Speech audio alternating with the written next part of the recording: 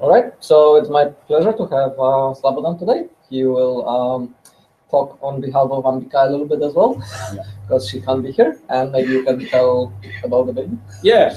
So she has got a baby, and because of that, she will be Baby absent son? for a year. Yeah. Okay. Shall we Floor start? Yes, thank you.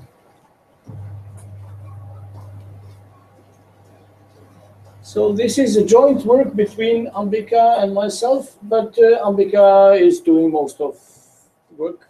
I'm just supervising. But today I'm not going to talk much about uh, concrete results. I'm going to talk more about what is behind, the theory behind, and how these systems work. So that's why I, I put in the title bit parallelism and such. So this bit parallelism is a phenomenon that was that has been known for like uh, 25 years, and well, you will see. So we are talking about search, and search we need it every day in any occasion. If we deal with digital computers, there has been 70 years of research on search since the inception of digital computers. People needed that, and you always you are always short of resources when uh, when it comes to search.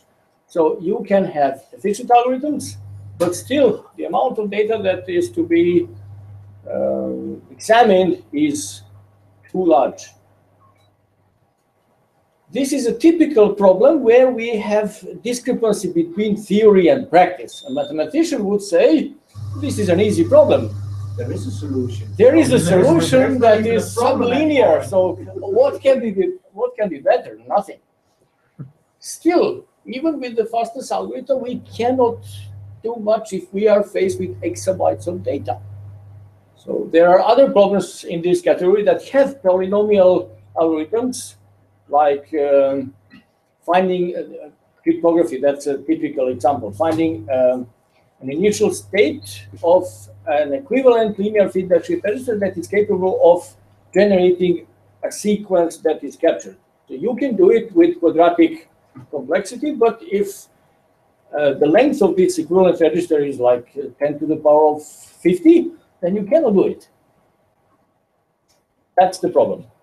So this is also a typical problem of this kind. So the input is too large.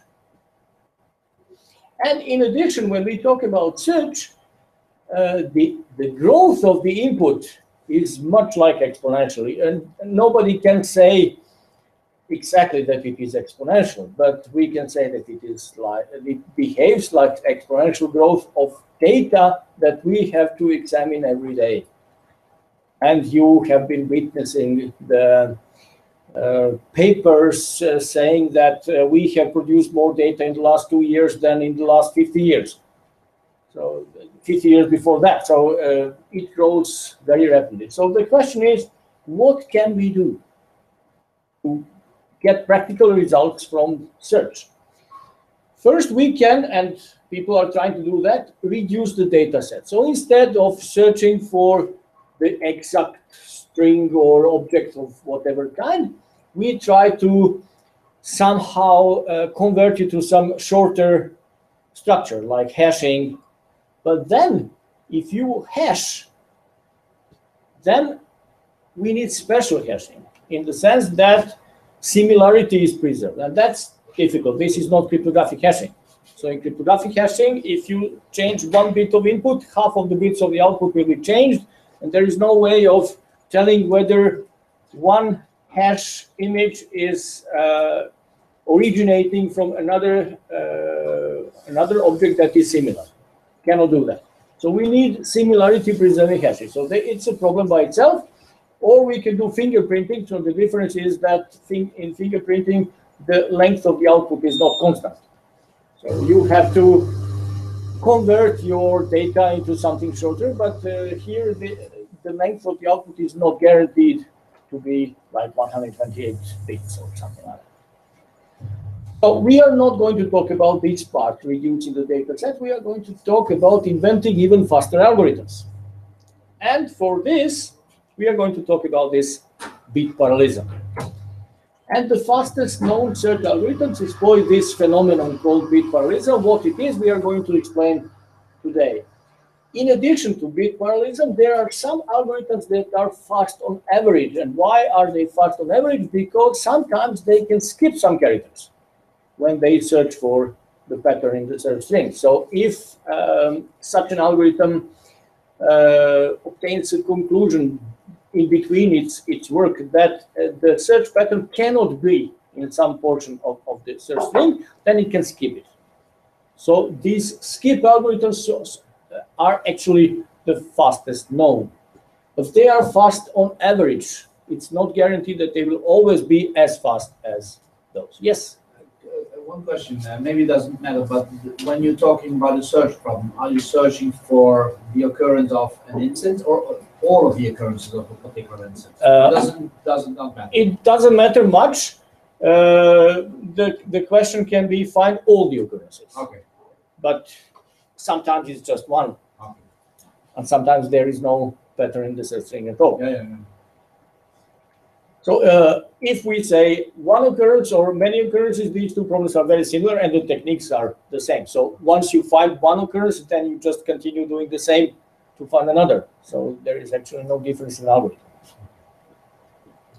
So the fastest known algorithm is this BNDM family, backward non-deterministic DAWG matching, where DAWG is a special kind of graph directed acyclic word graph that can be assigned to any string.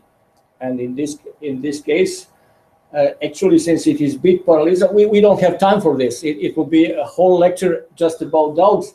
But this is a mathematical abstract structure that is actually equivalent to these bit parallelism structures. So uh, in bit parallelism algorithms, you actually do not construct these graphs. You don't need it. But it can be shown that operation of this algorithm is equivalent to having this. And why is it important? Because in that case, you have some guarantees about complexity. So the results that apply to DAWG algorithms apply to bit parallelism as well. So this one is actually the fastest one. And uh, it's a family because uh, they usually add a letter Q to that. Then you can read more than one character at a time and execute an algorithm on many characters at, at, at a time. Several, not many. And these are actually used in, in practice. For example, in intrusion detection systems like Suricata, they implemented that and claim that it is fastest and it must be. Now, to explain bit parallelism, since we don't have much time, we, we start with the naive approach. So how would you do that if you wouldn't do any if you wouldn't know anything about search? So you take your search string, the quick brown fox jumps over the lazy dog. It's a typical testing string for te teletypewriters from 100 years ago. So, and we are trying to find fox in this sentence. So this is a search pattern. It's called, it's called search pattern, what we are looking for. And the search string is in what we are looking for. So you would do it like this. Put the search pattern in the beginning and compare with that part of the search string. Then move the pointer by one, start from the second one, then for the third one, until you find this one. In this case, you would have 17 because Fox is at the 17th position. Now, this is naive because the complexity of this is the length of this search string times the length of the search pattern because every time you have to compare three characters in this case, so that will be a lot. So you can do it better. So even the naive approach is not a big deal. It's uh, mathematically it's not complicated. It's quadratic. If Foxy, if, if the um, pattern is long enough, if the pattern is short like this, then you can say it's linear because you have three comparisons. That's almost nothing compared to the length of this. Not a big deal. But we can do it better if we had infinite parallelism, so we can imagine that we have as many parallel machines as we like, then we would need n minus n plus 1 machines running in parallel to find the pattern in a single instruction, single step. So you can just put the as many machines as there are these characters minus the length of this plus 1. So because the last one starts from this one, not from that one. So that's why n minus n plus 1. Okay? So you can have as many parallel machines as you like, and then you just execute one instruction on that computer, you get where your pattern is. Or if there are many patterns in this thing, you have every position where they are. Now, since we cannot have this, if we have a limited number of machines running in parallel, we do the same, but once we uh, use them all, we just shift and try from that position where we stopped. So we can do that. So bit parallelism is very similar to this. It's a simulation of a machine with infinite parallelism, but with limitation on how many parallel machines we can have. Now, these machines are such that they are not binary. So each of these machines um, is using characters of the alphabet, not binary zeros and ones. Because of that, on a digital computer, we can just simulate it, which is slow, and there is no gain in doing this. What we would like is parallelism of binary machines. So just zeros and ones. And why is that? Because the operations of the algorithm for search would then include just operators that are present in the CPUs like shift and or, and that's very fast. It turns out that it is possible and it hasn't been discovered before like 25 years ago. So people needed that, but they didn't know how to do it. So the PhD thesis of Baeza Yates and Gonnet Gaston, he's from Uruguay, I think. He was his supervisor. So the thesis was in 1989, and the, the paper was published in 1992. This shift and the first bit parallel uh, algorithm about which we are talking, we are going to talk.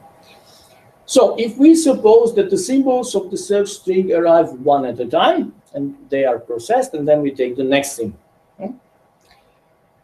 a new search machine is created for each symbol of the search string. So as if we had parallel structure. So we have a search machine for the first appearance of the first symbol. Then when the next symbol appears, we create another one, etc., etc. This is called non-deterministic finite automaton, such a machine. This is a parallel machine. And it starts searching from the current input symbol. So if the symbol Q has arrived, so we create a machine starting searching from this letter and trying to match Fox in QUI in this case. So it will not match, but we shall explain. The explanation is the following. If the current input symbol cannot be matched by some machine, then we stop that machine and forget about it we call that machine inactive.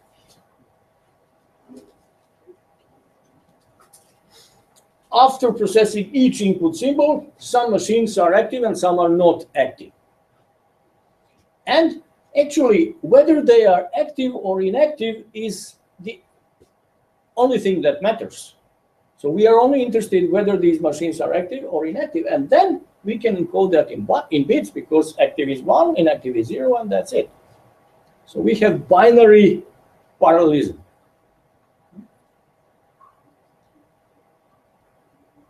These status bits, whether a machine is active or inactive, can be grouped, and we can group them in a computer word. And a computer word has like 32 bits or 64 bits, so we can run 64 bits in parallel, 64 machines in parallel. So if we have a pattern that is shorter than 64, then the number of operations in search is divided by 64. It's huge speed up. In addition, all the operations are binary bitwise operations, shifting by one, ending with a mask, or with something that's very fast. Because we have instructions in the computer for that. Now, what differentiates bit parallelism from theoretical massive parallelism is that we cannot have as many machines as we like. We actually limit ourselves to m machines running in parallel, where m is the length of the pattern. That's what we are looking for. And the machine is assigned to the pattern. We don't care about the search string. Search string can be any. So if we are given the pattern, we assign everything to the pattern. That's for all search algorithms. We never we never think about search string because search string can come whatever search string. So these m status bits are called status word.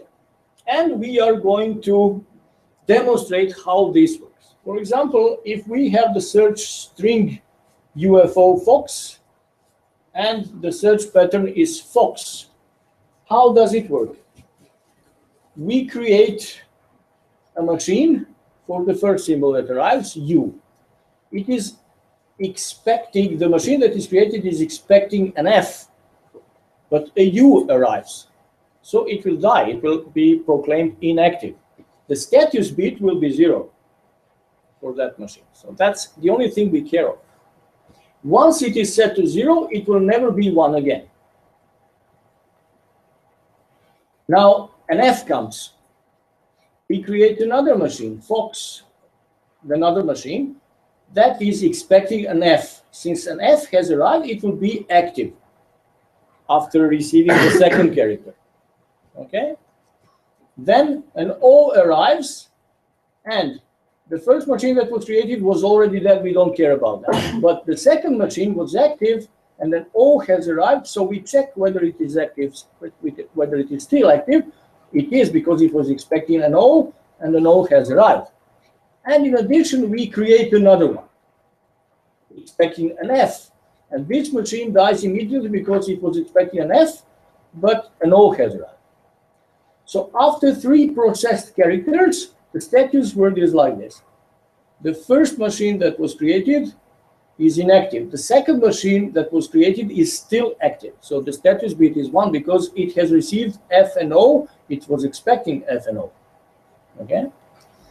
And the third machine that was created is not active because it was expecting an F and an O has arrived. So we have 0, 1, 0. The question now is, we don't have more bits because we have just the number of bits that is the length of the search pattern. So what happens when the next symbol arrives?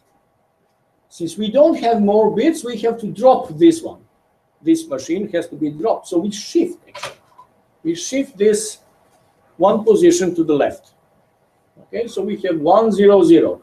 And then we create a new machine expecting an F but before receiving any character, it will be active. It will be waiting for the first character until it arrives. So we actually OR with one. Okay. Now we check whether the character that arrived is the same as the character that is it is expecting. It is, so it will remain one. But we we currently don't care about this. So shifting is the first operation because we don't have to care about this machine any longer. We, we don't have place in our computer world for that.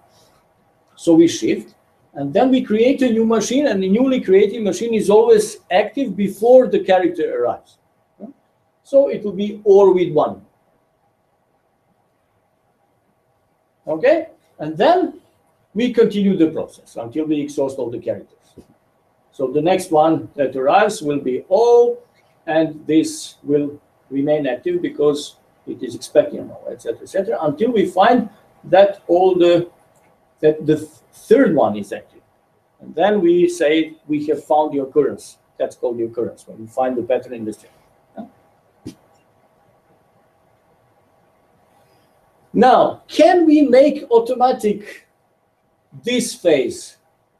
Do we know whether this newly created machine will remain active after the character arrives? Yes, we can. It turns out that it is always the case in our example that an F will keep the first machine active if it was active before. O the second and X the third. So we can do it, we can pre-compute that.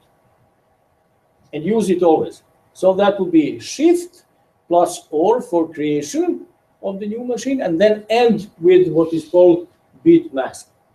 And these bit masks are, for example, in, in this example, 001 for F, 010 for O, and 100 for X. So where the letter is in the pattern, but mirror, okay? So the bit mask for F would be 001, the bit mask for O would be 010, and the bit mask for F, F X would be 100. So what, what would that mean? We would do shifting ORing with one and then adding the bit mask that is assigned to the newly arrived character. So in this case, it would be 001. So we would have shift this, that's 100, or with 1, that's 101, and then end with 001. Because F has arrived and its bit mask is 001. And that would remain 101 because ending with 001, sorry, it, it would be 001 because we end with 00. So just this machine would be active after processing this later. And then we shift again or with one and end with the bit mask for O and finally for X and we shall find our search pattern. So as the result of this discussion, we get this status word updating formula, which is the new status word is the old one shifted by one, or with one, and ended with the bit mask of the incoming character. Just what I have said.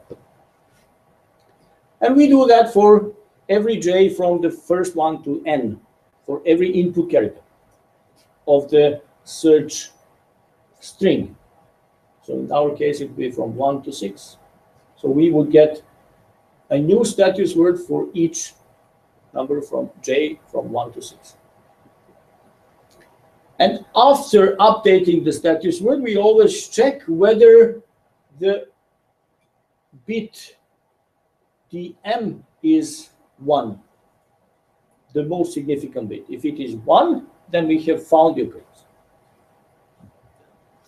So this is the algorithm that is called shift and. And why is that? It's obvious because we shift, then or, and then end. It's very fast. It's exact search. And it's not the fastest on average because we never skip characters. But its complexity is low complexity is guaranteed. We can make it even faster, but that it doesn't have physical interpretation. If we complement the bit masks and the scatters bit, then we where then we don't have to use or. So we don't have to shift and or and end. We can just shift and or with the mask. And that's called shift or algorithm. It's even faster. We save one operation. So that's bit parallelism, but it works for exact search. Now, if we want to allow up to k errors, either on the search pattern or on the search string, then we can, instead of using one status word, we can use k plus one status words. One word is for exact search, and then the rest k words for one error, two errors, etc., etc. And the operations can be match, that's horizontal transition, can be insertion of characters, that's vertical transition, can be substitution, Substitution is with a different character. So a match is a substitution with the same character. So it can be A with A. And if we substitute A for F or a B, then it's substitution. And this is this uh, solid diagonal transition. And the dash diagonal, if we don't consume character at all, that's deletion. So we can delete a character, we can insert a character, we can match a character or we can substitute. So usually, I know why Patrick is yeah. trying to concentrate. We got used to not uh, considering match and substitution different operations. So in search, it's usual thing because you treat match a different way than substitution. So match has some some um, weight because actually we are looking for a match. And we have a loop in the in the position zero zero. And why is that? Because we can start searching from any position in the search string. If we are expecting for an F, for example, and the, the first several uh, letters, several first letters of the search string are not an F, then the machine will just wait in this state, just expecting an F.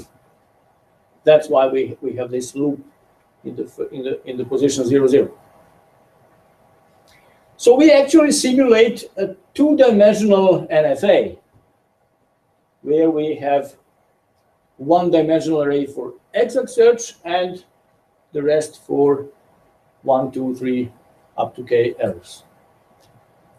So this is approximate search without constraints. Now what we are doing, and that's actually the end of this talk, is uh, because of the applications. Sometimes it's very useful to constrain, for example, how many operations of substitutions and deletion and insertion can be used to transform one string into another. Then we have constrained search. So the same way as we have constrained edit distance, if we want to compute, uh, if we are given two strings, how different they are, what number of these operations we have to do to, to perform in order to get one string from another. Hmm? But we don't want to use just any number of operations dis distributed anyhow. We introduce some constraints. For example, we can say we cannot use more than one substitution and one deletion, something like that. And why is that? Because we need that in practice. How? If we are talking about malware detection or, we, or intrusion detection, then what the attackers do is the following. Take an old attack, change it a bit, just a small bit, and it will not be detected by any detection engine that uses exact search. Okay. Now, if we instead of exact search use approximate search without constraints, then it will allow any number and distribution of these operators. But the attacker cannot do just any number of changes anyhow, because if you change too much the, the old attack string, then it might not be harmful at all. You have to choose it slightly. Instead of having, for example, a space in the search string, they substitute it by percentage 20 or something like that. Very, very small changes. And they still make the attack undiscoverable by, for example, intrusion detection system, or if it, if it is a file, malware detection system. If we are talking about spam filtering, where we also have application of this thing, if we want to spam somebody, threaten somebody with the word threat, okay?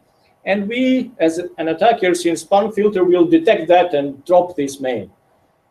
We change too many letters, then the spamming word becomes unintelligible. The victim will not understand, understand that it is a threat. It must be like, instead of threat with th, threat without an h, for example, something like very small change. So that's the idea. That's why it is, uh, if we use, if we use uh, unconstrained search and allow any number of uh, changes, then we can have false positives because the, the string would be accepted that the attacker will never produce. And to cope with this, we use constraints. We say we cannot allow more than one substitution or one deletion, one substitution, something like that. Small number of changes, and then we introduce this constrained approximate search. What's the idea? How can we do it? We don't allow just any transition in this NFA. We introduce counters and assign them to the bits. Now, of course, we introduce some computational overhead to that, but since we are talking about small changes, these counters do not have to count too much. It could be counting by zero one or zero one two at most. So it can be, it's it can still be fast. So that's what we are doing. So we we try to do that with uh, constraint on maximum number of allowed operations, like maximum number of substitutions, maximum number of deletions, insertions, something like that. And we managed to, by experimenting, we managed to Uh, reduce the false positive and false negative rates significantly compared to unconstrained approximate search. If we compare to exact search, that's of course, the exact search will never discover such an attack. So that would be all.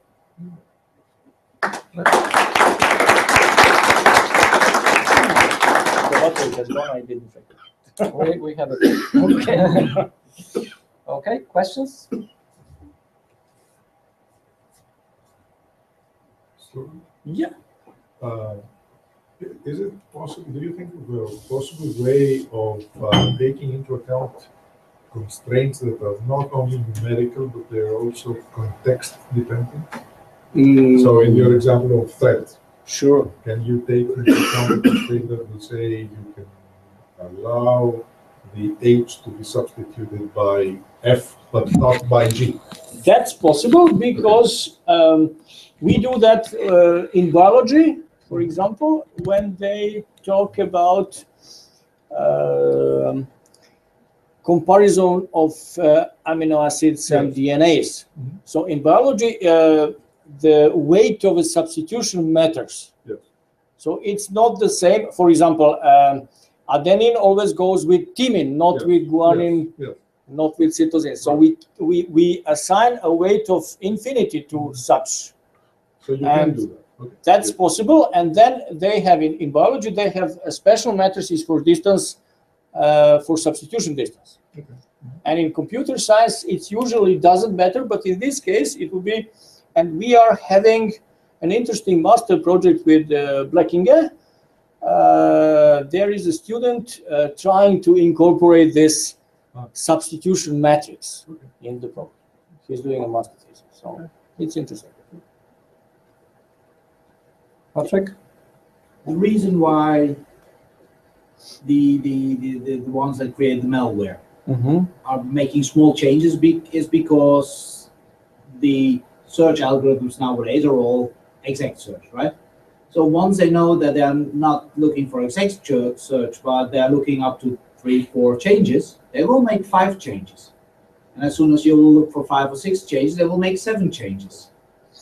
So how do you how do you protect against that? I can I can very simply say I'll have some some some uh, part of the code where the program hops over anywhere, and I can put whatever random I want, and then and then if it's long enough, you will not detect. You, anymore. you are right. If you are a human doing this, you can do it.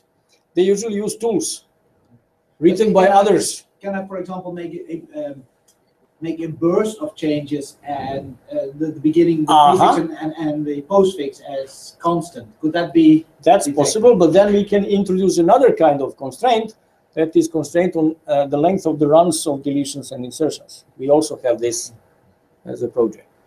Actually, we have obtained the, for, the updating formula for this case. Also, we have counters, but now we have a different kind of counters, not Yeah. of single uh, operators, but uh, of the length, uh, counter of the length of the run of operations. Like we don't allow more than two consecutive deletions or two consecutive insertions.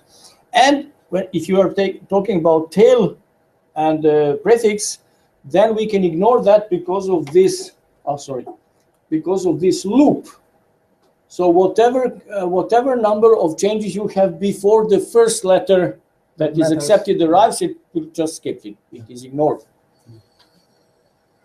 How about uh, you talked about insertion, deletion, substitution. Uh-huh. transposition? Uh, transposition, transposition is deletion plus insertion, isn't it? Yeah, but that's So- two. Yeah. that's that's true. So, um, actually, you know this. It turns out that if you count transposition as a special operation, as, as a standalone operation, then an algorithm for computing edit distance becomes NP complete or something. The problem becomes NP complete. It's very difficult. So it's better not to do that. Oh, for, uh, now I'm talking as an attacker. Yeah, it costs it costs more than you doing deletion plus insertion. That was this, I think, seller algorithm. Too long ago. Yeah, that was too long. Carl? Uh-huh. I think uh, I heard you speaking about FPGAs. Does Uh-huh. that mean that you can create uh, string word machines that have arbitrary string length that exactly match? That's possible, and that we are planning to do that. Okay. And in addition, to cope with the counters, we would like to have more than binary logic. So if you use ternary logic, then you can have 0, 1, 2. So since we are talking about small changes, that will be enough. Then we don't have counters at all. We have, instead of 0, 1, we have uh, a number characterizing the number of allowed operations from that state. So that would be an idea Yeah, that, that And- was my question. with FPGA, what you can get, at least in theory, I have heard, never tried, but uh, we are going to do that. Uh, you don't have to have two two levels. You can have like a hanging state or something like that. I think it is possible in practice to to do that ternary. And I have heard that uh, multi-level logic is produced somewhere. I tried to get that hardware, but never got a response. If you know anybody producing that in the US, I would be grateful to know. I don't, but uh, maybe I can follow up. Yeah, if you if you ever find some hardware that that somebody produces and is willing to sell, that would be very nice. Yeah, my, my question was because you have to use counters, and if you use zero one, you don't really break the bit parallelism Ah. algorithms. But if you use one more, then That you makes it have slower, to yeah, you, you have to deal with it separately. So how much of a performance penalty you have to pay because of Uh, that? We have uh, we have uh, done some experiments. So uh, actually, it depends on the, the level of change. So if you change more, then it will spend more. So uh, it goes up to twice as slow as unconstrained. But then uh, we always keep uh, false positive rate to zero. Mm. That's the great advantage. Any other questions? Ideas? Of course, this is all in experimental phase, so we are testing, searching for new algorithms, and uh, hopefully somebody will be interested to publish that. We, we, we, we don't know.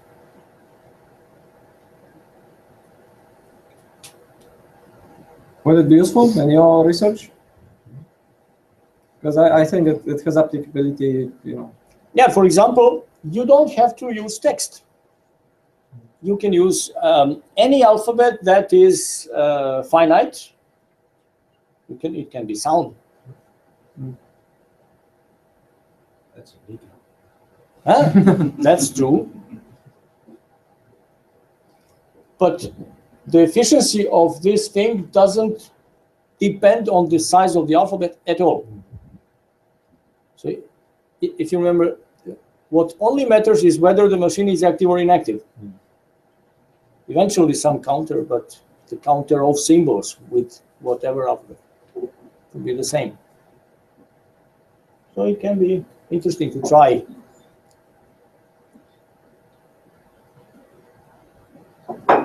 I think there are applications uh, uh, using this for music.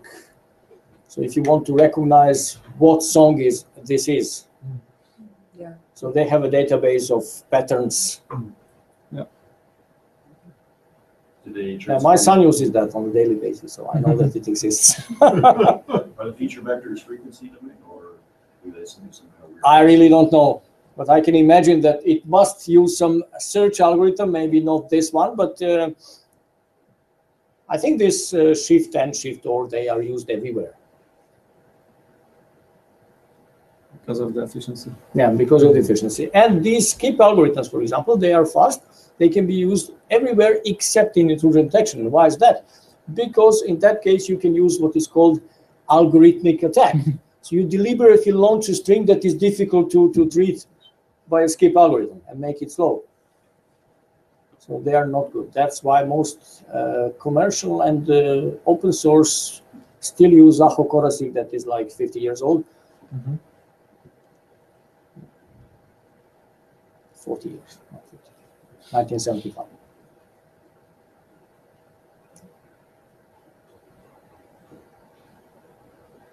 Okay.